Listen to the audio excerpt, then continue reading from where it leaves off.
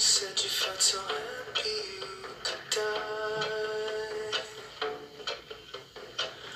Told myself that you were right for me, but felt so lonely in your.